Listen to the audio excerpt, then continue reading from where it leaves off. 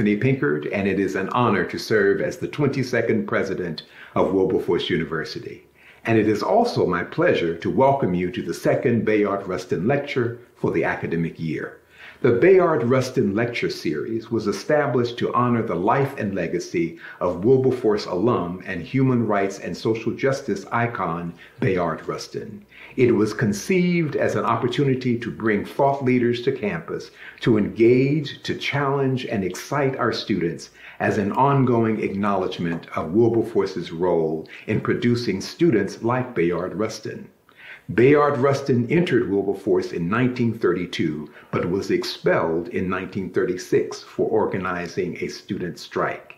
He would later become the chief strategist for the modern civil rights movement and a key advisor to Martin Luther King Jr.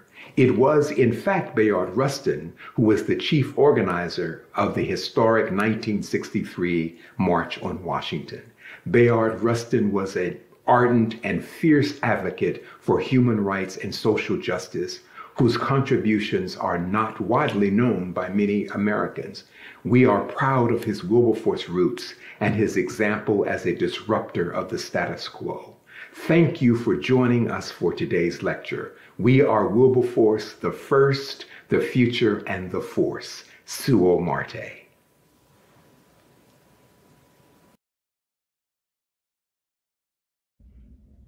Join me as I pray. God of grace and God of glory, we come on this day, the fifth day of Holy Week, just to say thank you for life, health, and strength as well as it is. Pray, oh God, that you be with our speaker today for this lecture, and pray that you give her the knowledge, the wisdom, and understanding to say those things that would inspire us to do things in a way that we can be honored and great, and you receive the glory was in your name I pray. Amen.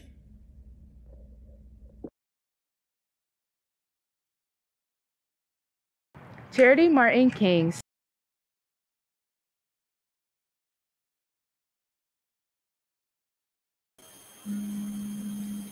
Good morning, everyone. Good morning and welcome to the Bayard Rustin Lecture Series, uh, sponsored by Dominion Energy. I am Dr. Kimberly Hardy Porter, I am the Special Assistant to the Provost for Academic Initiatives, and I am a very proud graduate of Wilberforce University, class of 1985.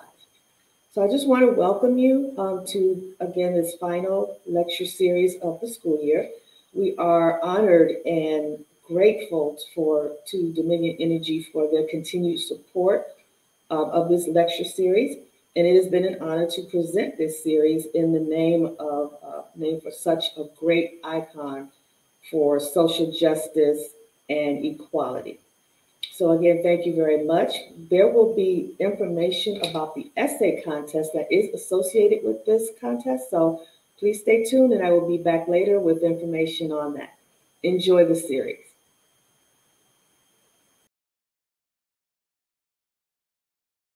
Charity Martin King's civic, business, coaching, and nonprofit career spans more than two decades.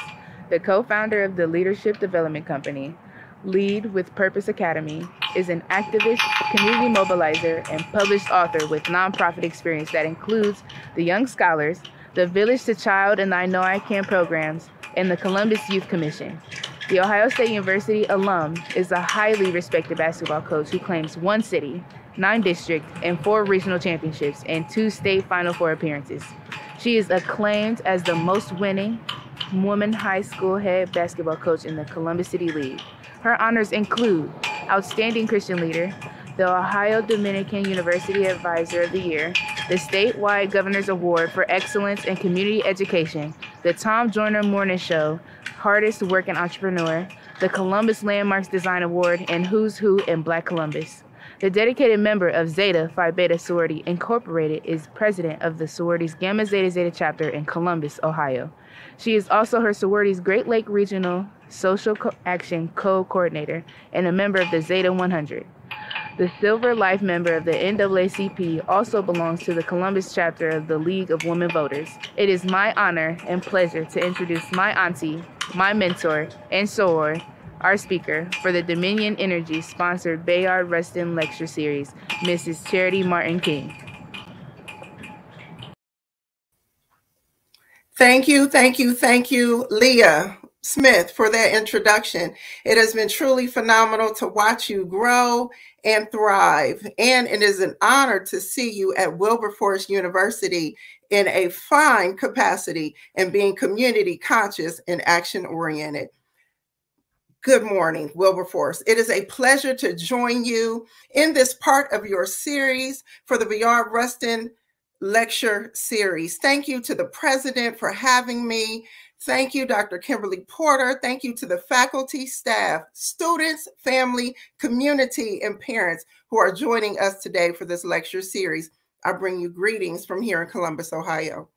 What I will talk to you about today leans in on the move in movement, the move in movement. Because when we think about the contributions of Rustin, we must look at the move in movement, the move in movement. Rustin attended for a few years at Wilberforce University. Wilberforce University's history spans as being the first private university in these United States of America. Wilberforce is a champion of inclusivity and diversity and is a shining beacon to not only the state of Ohio, but to other HBCUs in the country. Thank you, Wilberforce. When I look at the move and movement in this lecture series, move, the word move is a verb. It is an action word, something that is not stagnant. You must put some energy behind movement. So, move in movement is a verb. It is something that takes you from one place to the other. Move is a verb. When I look at Webster's dictionary, move is defined as going in a specific direction or manner, a change in position, specific direction or manner, and change in position. Webster also lets us know that move means to progress or progress, to develop in a direction or movement. So you must develop, you must be specific, you must be guided, and you must know when to change position in the movement. Move is also defined as a change of place, position, or state. So sometimes when you're moving, you may go from one state to another state, whether it is elevation, displacement, or descension you are going to move to a different state. So it is the move and movement. Wilberforce, I want to remind you that it is a verb. It requires action. Move requires action. The movement requires you to do something. Bayard Rustin is quoted as saying, the proof that one truly believes is in action. The proof that one truly believes is in action. It is in action action. And what you do is what proves what you actually believe. Bayard Rustin was also a minister for a time. He was born in a Quaker family. So I believe that when he's saying to move and to believe in action is from a tree is known by its fruit. You know a person not by what they say, but by what they do, the move and movement. The M, mobilize. So what we're going to do is I'm going to take you from the M, the O, the V, and the E, Wilberforce, and we're going to talk about mobilizing. So the M is to mobilize and to march. Rustin understood that I have to mobilize people and I have to march forward. Just as the president said, he, he is known as being the major force and planner and organizer of the March on Washington.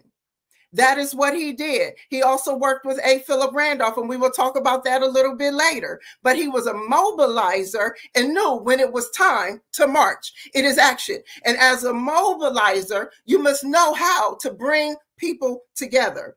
Mobilizing may cause you to be displaced because remember, movement is moving from one state to another, to being displaced, to being shifted, to being tossed around. He understood that I have to mobilize and I have to march. People have to see me move forward. And even in moving forward and marching and mobilizing, you may be knocked back. The late uh, John Lewis talked to us about you have to do something and you have to have action. But in that marching and moving forward, sometimes you just may be knocked back. So to mobilize and to march is the M. He's also quoted as saying, We need in every community a group of angelic troublemakers. He said we need in every community angelic troublemakers. John Lewis also talked about trouble, good trouble. But here we hear Rustin saying we need in every community angelic troublemakers. Angelic indicating a connection, a spiritual connection, and a sense of purpose and morality. You can't just cause trouble in a way that is not angelic. Now, many of us know we do have some troublemakers, people we might know or people we see who are doing something and creating trouble, but it is not in a divine or angelic in purpose way. In all that you do, be purposed. In all that you do, be purpose and angelic and guiding in your mobilization. The O for us is opposition. Bayard Rustin spent two years in prison. And at one point, he was on the chain gang. The O is opposition. When you're marching, moving forward, mobilizing, you will get opposition. Expect for someone to interrupt or try to interfere with your purpose and your position when you are trying to create change. Change is never easy especially if you're doing social change or you're in an environment where the culture is not conducive for change. You must be ready for opposition. I think it's best expressed in his words when he talked about his resistance to the draft, his resistance to war. They jailed him for two years. He really was supposed to get three. He spent time in prison. And this is what he writes because I think he also understood that when history tells my story, I want my story to be told in my own words. This is what he writes. He says, On Saturday, November 13th, 1943, I received from you, he's talking about the federal government, I received from you an order to report for a physical examination to be taken Tuesday, November 16th at 8 o'clock in the evening. He was specific. I wish to inform you that I cannot voluntarily submit to an order springing from the Selective Service and Training Act for War. He even understood that sometimes when you get an order, it doesn't mean that's what I have to do. He processed it through his systems. He processes through what his belief system and his morality to understand that just because I received an order, because of my leadership and what God has called me to do, I just can't go right now. He says there are several reasons for this decision all stemming from the basic spiritual truth that men are brothers in the sight of God. Number one, war is wrong. Conscription is an association of modern war. Thus, conscription for so vast an evil as war is wrong. Conscription for war is inconsistent with freedom of conscience, which is not re- merely the right to believe, but to act on the degree of truth that one receives, to follow a vocation which is God inspired and God directed. So, what he said to the government in a time where lynchings are common, in a time where the fear of Black skin is prevalent as it is today, he said, I cannot go. And you gave me an order but that doesn't mean that that is the order that I must follow. The orders that I'm going to follow are those orders that come from God. He believed in something, he believed in something greater than himself. He said, Today, I feel that God motivates me to use my whole being, my whole being to combat by nonviolent means the ever growing racial tension in the United States. At the same time, the state directs that I shall do its will which of these dictates can I follow? That of God or that of the state? Surely I must at all times attempt to obey the law of the state. But when the will of God and the will of the state conflict, I am compelled to follow the will of God. If I cannot continue in my present vocation, I must resist. I must resist. Do something. You must have courage to get in trouble and to be troublesome and to agitate, but agitate in a way that is angelic and is purpose, not of your own will, but of that is that of your calling, of what you've been called to do. The O for us is not only about opposition, it's about opportunity. Because even in a state of being jailed, criticized, resisting, there was an opportunity. How many of us are missing our opportunities? Because even in times of distress and oppression, there is an opportunity for action. Find the opportunity during the oppression. Find the opportunity. The oh, O is also about organizing. He was a very skilled organizer. The March on Washington would not have happened without the work of Bayard Rustin. He was an organizer. You must be organized. We have ideas or concepts or things we're supposed to do, but we don't take the time to organize. You must be organized in what you do. You must be deliberate, intentional. You must have a strategy and steps for success. An idea is nothing without organizing and being compelled and compelling to others. You must be organized. He was also a founding member of the Congress of Racial Equality, CORE, along with James Farmer, George Houser, and Bernice Fisher, names that we don't hear very often. They were the founders of CORE, the Congress of Racial Equality, working alongside the Southern Christian Leadership Conference. They organized, they knew how to organize. It's not enough to talk about it, but you must be organized to mobilize. He was jailed, detained, and forced to be chained to someone else during the chain gang, the time he spent on the chain gang. And even though we're chained to someone else or to something, there is a purpose for what we must do.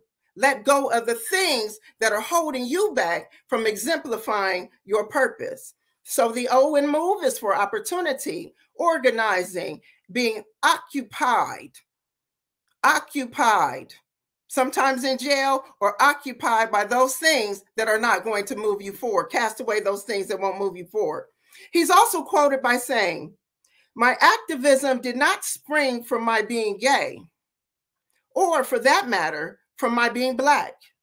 Rather, it is rooted fundamentally in my Quaker upbringing and the values that were instilled in me by my grandparents who reared me. The V and move is for visionary and values. Visionary and values. The reason why we don't hear about Rustin is because he was openly gay. There is current legislation here in Ohio that says you can't talk about being gay. Bayard Rustin lived his life out loud as a gay homosexual male, black male in the movement. Because of this, his, his legacy, his work has been pushed down and hidden from society. We hear about names like Martin Luther King and even A. Philip Randolph, but we're less likely to hear about Bayard Rustin because he was openly gay. I must highlight this because it is oftentimes considered taboo to talk about these subjects in the Black community.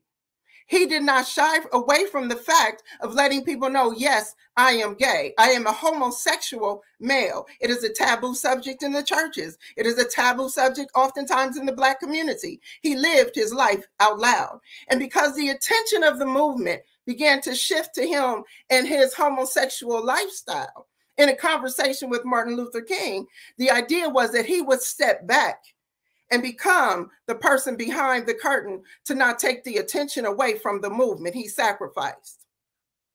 And because of his sacrifice, we don't hear his name as often as we hear other names because he lived his life openly as a homosexual male. So the V is about visionary and values. He had a Quaker upbringing.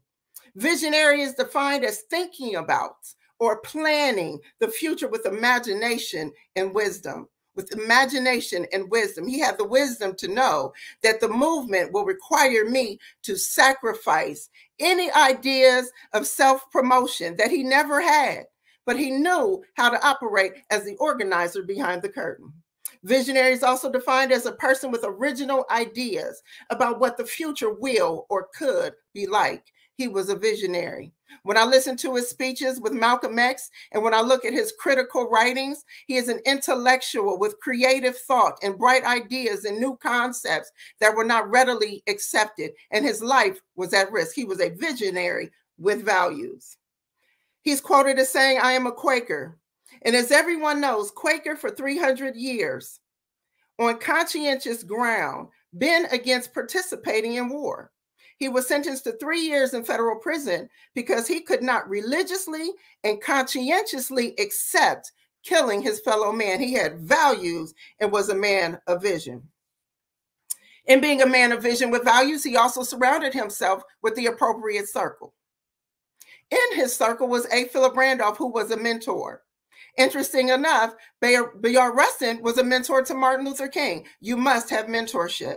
Every great leader, no matter where they are positioned in life, has a mentor and believes in mentorship. Surround yourself with the right circle. He was also good friends with James Baldwin, activist, creative James Baldwin. Surround yourself with the right circle. You will limit your trajectory if you are linked up, chained up, and surrounded by the wrong people in your circle. They say, Show me your circle, I'll show you your elevation or lack thereof. He was surrounded with the right circle. Inspired by A. Philip Randolph, he was into labor rights, organizing human interests that, ex- that extended beyond race and ethnicity. He believed in the poor people's movement. He believed in economic empowerment and economic advancement. He did not limit his conversations and his activism and his ideas about social change to race and ethnicity. It was a human rights issue as a gay man. He was a mentor and an advisor who knew the importance of his circle. Know your circle. He is quoted by saying, It occurred to me shortly after that that it was an absolute necessity for me to declare homosexuality. Because if I didn't, I was a part of the prejudice. I was aiding and abetting the prejudice that was a part of the effort to destroy me. He was honest. He was honest. He said, if I did not be honest about being a homosexual male, I was contributing to the prejudice by not being honest. He lived his life in honesty. He was honest. He knew where he was at.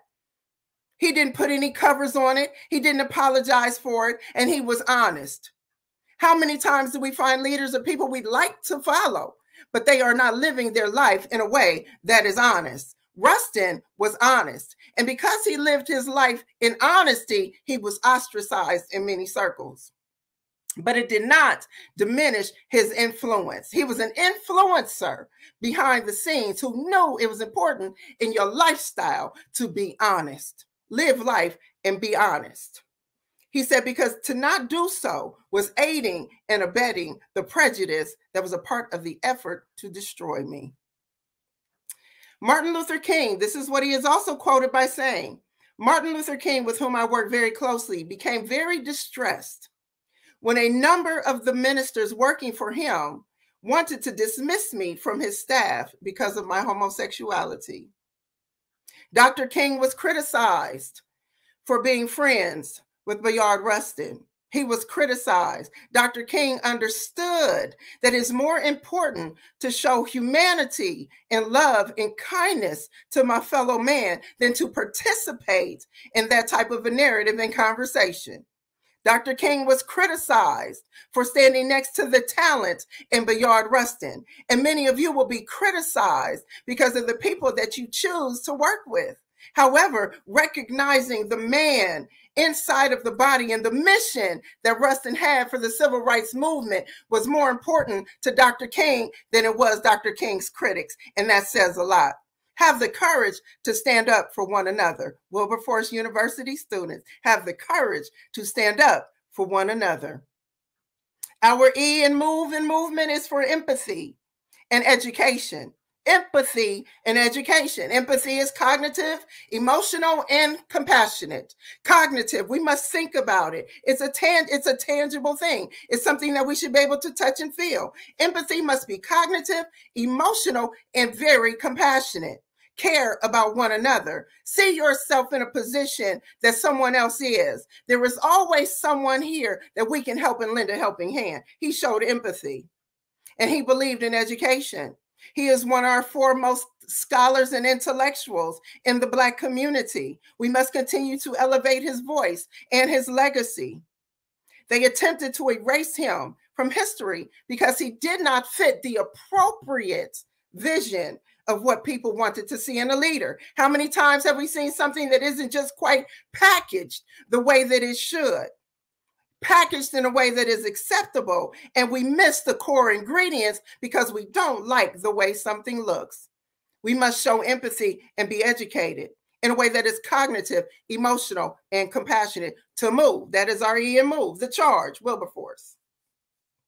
The move and movement, the charge to you as students, as staff, faculty, the community. Rustin is quoted by saying, The only way to reduce ugliness in the world is to reduce it in yourself. The only way to reduce ugliness in the world is to reduce it in yourself. We must have the time to be introspective. Be introspective. Evaluate where you are in life. Are you showing care? Are you showing compassion and empathy? Are you pursuing education at the highest ways? Because and many opportunities have been removed from us as a Black community to pursue education. Are you pursuing education in a way that is earnest, honest, and compassionate? Pursue education is the charge. Reduce the ugliness in the world by reducing it in yourself. Find a way to continue to elevate and to evolve and to grow and to develop, maximize the opportunities. Maximize your opportunities and move in the movement. Move in the movement. He was awarded after his death the Presidential Medal of Freedom by President Barack Obama. He was also elevated in, in many conversation circles, just as where we are here. And I compel you to think about this how many times do we not know what our impact is, truly is? You may not know what your impact is. You may not see the fruits of your labor while you are here on earth. You may not receive your flowers until you are gone. Do it not for the flowers, for the accolades, for the recognitions, for the medals. Do it because it is something that you have been purposed to do. He led with purpose. He had a purpose existence. He did what he did because he believed that that is what God had for him in his purpose. No man, no government, no university, no entity, no leader or so called leader could stop Bayard Rustin from exemplifying and realizing his purpose. You may not be recognized for it. But as you self examine and as you elevate and as you move forward and as you assist, assist in a way that there is no expectation of recognition because it just may never come. He dedicated his life to social change. He dedicated his life to elevating marginalized voices. He dedicated his life to the realization of what he believed his purpose was of man of mobilizing, a man who understood that he might receive opposition, a visionary who showed empathy, the move in movement. Thank you, Wilberforce, for having me. Thank you for this lecture series that allows us to dissect these issues and to talk about our civil rights leaders. Thank you for having me. Thank you, community. Continue to lead with purpose. Okay, wow. Thank you, Mrs. King, for that powerful message, uh, your powerful words.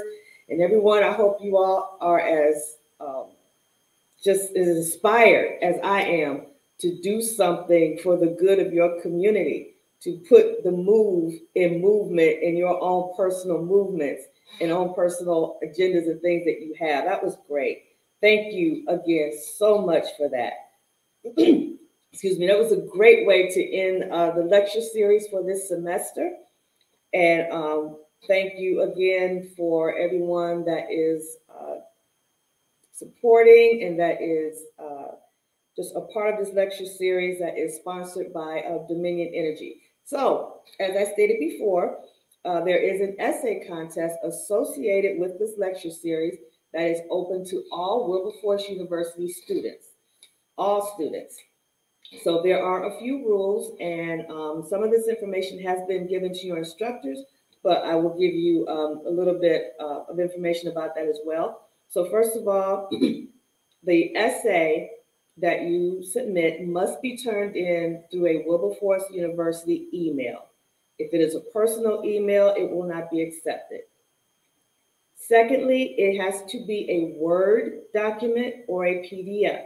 Please do not send in um, pictures or JPEGs or things from your phone for this essay contest. And you are to follow the rubric that everyone should, that who's interested in participating in this contest. There is a rubric that was sent out to all of the Wilberforce University instructors. So if you um, need that, please contact them about that. Your submissions should be sent into my email, which is kporter at wilberforce.edu. Again, that is kporter at wilberforce.edu. The deadline for submissions is 11:59 p.m. on Friday, April 22nd. And the winners should will be announced um, through our social media platforms, through our Facebook, our Instagram, and on our website on April the 29th. So um, look forward to seeing your entries. Remember, the theme for the essay is going to be the move and movement. So, how are you going to be the move and movement for your own personal circle, whether it's your family, your church, your organizations, your community? How are you going to be the move in movement? So, again, thank you very much, everyone, for participating, for tuning in. And we look forward to seeing your essays and have a great day. On behalf of the Wilberforce University community, I'd like to thank today's speaker, Charity Martin King, for accepting the invitation to be our Bayard Rustin Lecturer. Thank you for inspiring our students to make a difference in the world they inhabit. Like Bayard Rustin, let us commit to being fearless in our desire to have a just and caring world where every human being can feel valued, affirmed, and celebrated for who they are. We are Wilberforce, the first, the future, and the force. Suo Marte. Now we give you thanks for this great program. Lord, I thank you and I praise your name and I pray that those things and the words that have been said, that they would encourage us to grow up in greatness, encourage others, and to do those things as we travel through life on our way to eternity to make this world a better place to live. In your name I pray, amen.